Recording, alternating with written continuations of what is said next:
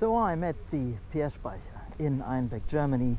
They have a fantastic collection of cars and, well, hundreds of cars and motorbikes. And one of the cars is this absolutely awesome and lovely Talbot Matra Rancho. I know the exciting thing is I'm about to drive it today, show you the car in all its details, and will tell you a bit about the history uh, of this fantastic very unique car. You could say it's the grandfather of all modern SUVs.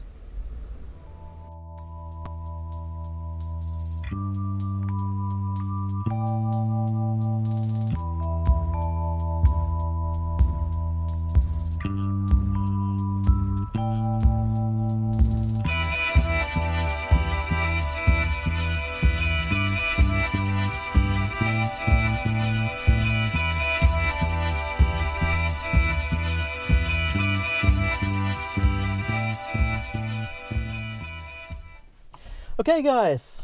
Well, amazing. So I'm in the uh, Matra Rancho. Uh, it's a happy place, uh, to say the least. So, and I'm taking you now for a little ride in the car. I'm telling you something about its uh, really interesting history, and well, then we will see how it looks inside, how it looks outside. Well, there's quite a lot to tell about the car. So, let's start uh, the engine. 1.4 out of a Simca 1308.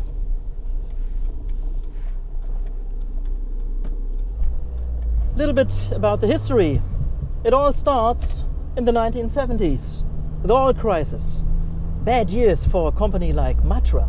So Matra's car division was well, fairly small, um, but was more known for its well, sports cars, just like the Bagheera. And that was pretty hard to sell in the 1970s. So Matra needed some good, some new ideas. And well, at the same time, such an idea was born in Spain. Spanish dealer took a Simca 1100, uh, made his own fiberglass body, bolted it on the underpinnings of the Simca 1100, and so the Campero was born. A utility vehicle for rough terrain, of course, two-wheel drive and four-wheel drive. Uh, but only sold in Spain. I think the bodies uh, were made in uh, Madrid. Anyway, that idea made it over to the Matra headquarters. And in my eyes, Matra is maybe the most flamboyant of the French car manufacturers. As said, was only a small bit of Matra, but they thought, hey, it's a good idea. Maybe also because uh, roughly at the same time, British Leyland had the fantastic idea of the Range Rover, but that was really quite, uh, really quite expensive car with a large V8. So many different ideas came together, and that was the Project 12, the P12. And well, Matra had to cut costs, so luckily Simca was a division of the well rather chaotic um, Rootes operation of Chrysler in Europe at the time. So they took the Simca 1100 pickup uh, and well bolted parts of a glass fiber body uh, on that Simca 1100. Well, and this is something I will show you now in all uh, its details because I think it ended up with a, a really, really cool car, absolutely unique for its time, and probably the grandfather of all SUVs, if it's now good if it's now bad. But for the Matra Rancho, it's for the good because it's really amazing. Now here we have the Matra Rancho in all its glory and right in the right terrain here in Lower Saxony, Einbeck in the background. Um, so, well, it, it looks like a all-terrain vehicle but what it is, it's an almost all-terrain vehicle, isn't it? So, well, right, the, the this part, right until the doors here, this is actually all Simca 1100. And behind that, it is all glass fiber, polyester, bolted on the Simca 1100 uh, pickups chassis.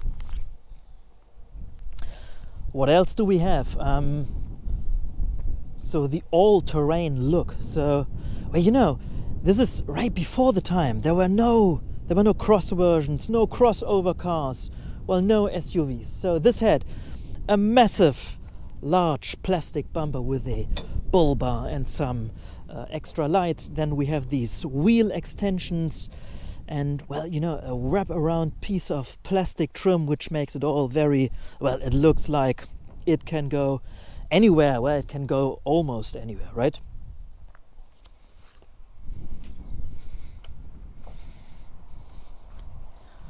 And the same goes for uh, the windscreen. We have these bits of pieces. We have a small roof rack right there. So there's even a version with a wheel up on this part. Um, this car is uh, on well pretty neat alloys, but we will talk about all the different versions. Uh, the Matra Rancho was available uh, up next.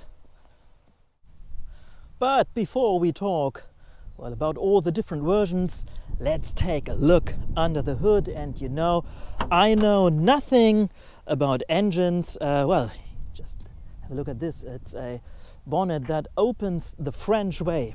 Um, so let's have a look at it. It's a, a four cylinder 80 PS uh, 1.4 engine that comes right out of the Simca uh, 1308. So why they took all the bits of the Simca 1100 uh, pickup, they didn't took its small engine, they took well the slightly uh, larger one. So of course it's not a V8 like in the Range Rover but well, it runs it runs pretty good. Uh, what I like uh, about its German brochure is they talk about a very beefy engine that can go anywhere and I don't want to stretch uh, the joke too far. It can almost it can go almost uh, anywhere. So let's close the bonnet and let's take a look at the different versions and then we'll take a look inside of the car. So in Germany, for example, uh, you could buy a very basic version of it. I think this could be the very basic version. Then there was the Rancho X, a little bit uh, upmarket, and well, then there was the uh, Grand Raid, and the Grand Raid was well, that was top spec. It had everything, and there were some neat extras for the car. So there was a well there was a proper winch which was situated there that could pull I think 1200 kilograms. And it had some extra searchlight on both sides in front of the windscreen. Uh, if you ask me it's maybe one of the most iconic parts of the car. This one is unfortunately missing it well, and there was more. Um, there was even a sort of soft top version of the car.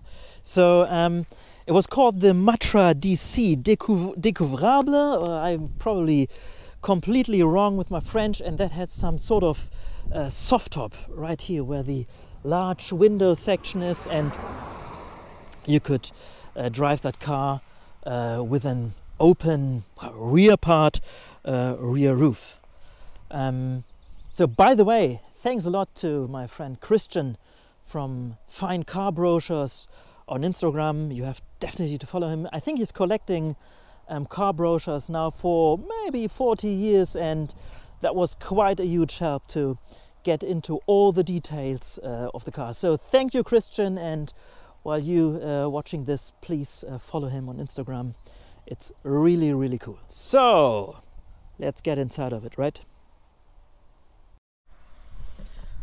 Okay, let's open the door and hop inside. First of all, these are very, very nice and comfy seat with a well tartan seat covers, but inside it is not as flamboyant as it is outside. So what do we have? We have some well pretty thin doors. It is well, you know, it is completely Simca 1100 in here, so well, we have a typical out of the era steering wheel, one spoke, one spoke, two spoke. It's a little bit undecided. Um, we have all the dashboard out of the uh, Simca uh, 1100. So we have, well, we have some buttons. so this is for the uh, rear window, for the uh, for the wiper, and uh, for the washer. Um, this I actually don't know. This is maybe heated window. And then, of course, we have the uh, hazard button right here. Um, yeah, well, this is some sort of, well, I think braking light test. I don't know. I can't tell you. So, well, this is um, front screen heating, and these are the extra light in front of the car. Then we have a choke, of course, and this is the heater element. Cold, heat, red to blue, um, max, minimum, open, um, well, downside. Then we have an ashtray, of course, for your Gauloise. Excuse the usual French cliche I'm using here, and I mean, it's just a fantastic. It's a fantastic feel inside. It feels very, very roomy. Well, because it is. Um, what else? Speedometer. Then we have a little clock right here. Um, temperature, and of course, fuel. That's it. And let's check out the controls here at the steering wheel. These are very, very well, thin. Um, this is for the indicators, light switch, and of course uh, windscreen wipers. Um, we have a period, Grundig uh, radio, and a little glove box right over here. Whoops! Hmm. Well, there you go. Okay. Let's see what else to explore in this car. So let's check how to get uh, the rear bench. So there's this little thing here, you're pulling it and it's really fairly easy. There's still some paperwork in the car. Well, and then you're in the Matra Rancho and where it just feels well. An aspect I always uh, loved about the car, these sort of, it's it's a skylight, well, I don't know, but these large uh, window um, uh, window area is uh, pretty pretty cool. Then you have these sliding windows. Uh, there they slide. It's a little bit uh, well, not so easy to uh, open it because uh, what it is, it's an old car. Okay. Now let me show you um, how to fold the whole rear bench. it's quite interesting because well, you have to go outside and then it's time to open uh, the rear door. So, first of all, you start with the upper part, which opened that way, and then we have um, this handle, which is oh, not easy to operate. Well, and there you have it. So, now in order to fold the rear bench there's this little handle right here and then it should. I don't know if it uh, worked now or not. It works just fantastic and just look at it. It's a well you can you can make it almost completely uh, flat in here. Well there was actually a very interesting extra. You could buy a bed for your Matra Rancho. Well, and another benefit of this was, of course, you could really tailgate on this car, enjoying uh, the beautiful landscape, and then you need a screwdriver and a Coke, and well, cheers.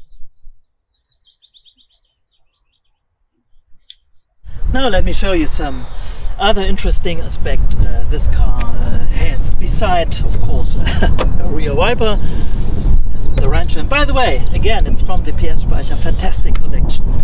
Uh, anyway, so you open uh, the upper part and then you open the lower part. And uh, almost unique to the car, and it's a feature I only know from the Citroen DS of that time. You could close the uh, upper part when you could drive with the um, lower part uh, open, which is well, not good for the traffic cops because and then there would no uh, license plate. Uh, I don't know if you've seen it on the um, Citroen DS estate. There's like a flipping uh, license plate function anyway. Uh, this is lacking exactly that, but where you could uh, transport all your long bits in this car without any problems. But closing is, you have to closing this. You have to um, yeah, you have to be careful with it. So how does it drive? Well, pretty good, pretty unspectacular. With the 1.4, um, it's running pretty well. I expected it to well to have a more heavier feel, but it really doesn't have that. So steering's light. Um, the gearbox, there's some well, it's a long way from two to third, if you will. Um, but it just drives nice. So for me, it is the feeling, well, of the room. Um, it's not dark in here. There's lots of light in the car. It feels roomy, and that's why I like it. And by the way, it sold pretty well. Um, Matra expected to sell around uh, 25,000 of these, and they ended up with uh, 56,000 uh, of this car when production uh, ended in, I think, 1984. And by the time uh, Matra was already part of Peugeot. And one of the reasons production stopped was the Project 18, and that was actually the uh, Espace. But Peugeot said, well, we're not convinced about the idea, and, well, pulled out, if you will. So Renault came in, and we all know the Espace turned out to be a massive success for Matra and for Renault. Well, if you look at uh, the market position of the car, it was difficult and easy at the same time. So this car had to compete with the larger station wagons, such as the Ford Granada or the Volvo 240. And the problem was in Germany, for example, the Matra Rancho was pretty expensive. So it cost more than a Ford Granada L. In the UK, it cost more than a Volvo 240. That was a problem. These cars had four doors or maybe more to offer, but I don't know if these cars offered more room. This car offers a lot of room, and even it has only uh, two doors, three doors. Uh, it is pretty comfy, even on the rear bench. So it had its selling points, but like the modern SUV of today, this was not sold to um, well to the people who needed an all-wheel drive vehicle. I remember pretty vividly. I don't know if you know that movie La Boum, a French movie with uh, Sophie Marceau, and her father in the movie was a dentist. And guess what he was driving? A Matra Rancho.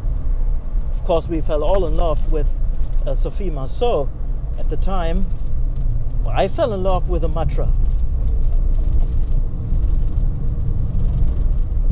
Yet, rust protection was absolutely terrible. Even the glass fiber rusted. Well, it did not, but well, most of the car had a huge rust problem. So, like many cars of that era, this car just rusted away, and only very, very few are still here. And because most of these cars are gone today, I'm more than happy to show you this one today.